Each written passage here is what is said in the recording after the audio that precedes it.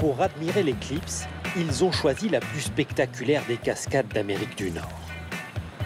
Les chutes du Niagara, frontière naturelle entre les États-Unis et le Canada, accueilleront aujourd'hui des centaines de milliers de visiteurs, pris par l'excitation grandissante de vivre une expérience unique.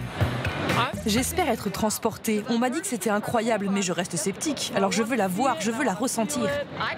J'ai pleuré la dernière fois. Et toi aussi Oui, j'étais ému. La température qui chute, les insectes qui commencent à faire du bruit comme si c'était la nuit, c'était magique.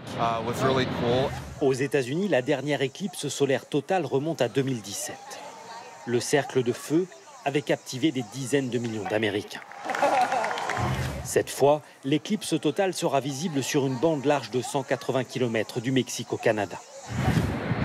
Ces Français venus en famille sont des chasseurs d'éclipses. Japon, Espagne, Argentine. Un, deux, trois. Ils en ont déjà vu une dizaine.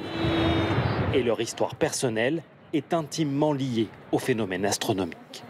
On s'est rencontrés euh, sur l'éclipse française en 99 et euh, on a fabriqué euh, notre petit bout euh, sur une éclipse à Tahiti. Petit côté un peu solennel déjà, parce que ça se produit pas souvent.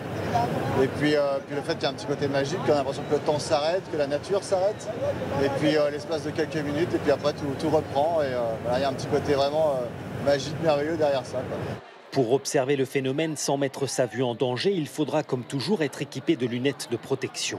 Mais les chutes pourraient-elles aussi offrir un spectacle inédit? Est totalement inoffensif. Chaque jour ici, nous avons un arc-en-ciel au-dessus des chutes. Mais demain, certains spécialistes disent que la réflexion de la lumière dessinera un arc-en-ciel entièrement rose. La prochaine éclipse aux chutes du Niagara est prévue pour l'année 2144, alors mieux vaudrait tout à l'heure ne pas arriver en retard.